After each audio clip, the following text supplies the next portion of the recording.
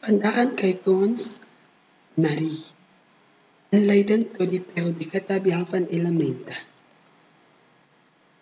Aan het einde van die les moet leerders in staat gaan wees om te kan wijzen waar op het periodieke tabel metalen voorkomen, niet metalen, als ook semi-metalen of halfmetalen. Um, tabel is die elementen geclassificeerd volgens drie hoofdcategorieën. Hierdie categorie sluit in metalen, nie-metalen, halfmetalen of semi-metalen. Op onze periodieke tabel zal ons metalen gaan vinden aan die linkerkant van die tabel. Ons sal aan die ander rand nie metale aan die regterkant van die tabel gaan vind.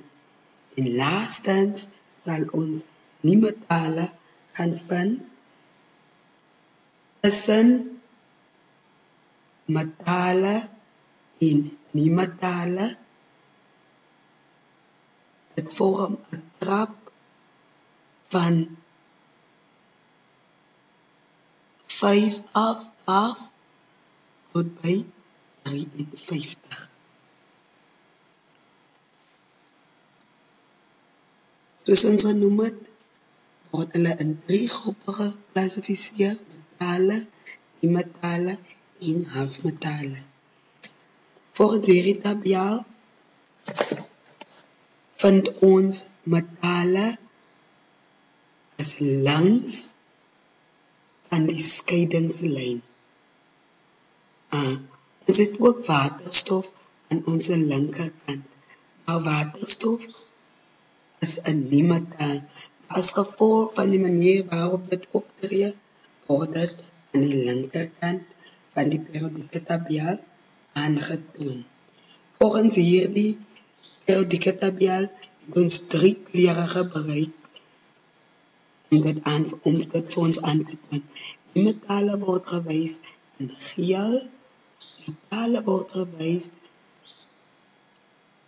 in kleur groen en of semi-metale word gewys vir ons in peers.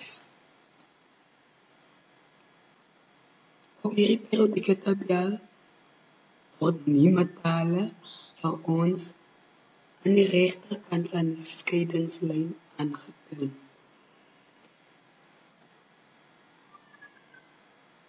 Halfmetale is by die scheidingslyn en dit word vir ons in kleur peers aangetoon. Om dit alles weer te herhaal, vind ons metale aan die linkerkant van ons periodieke tabel, nie metale aan die regterkant van ons periodieke tabel en dit lê regs van die scheidingslyn en nie metale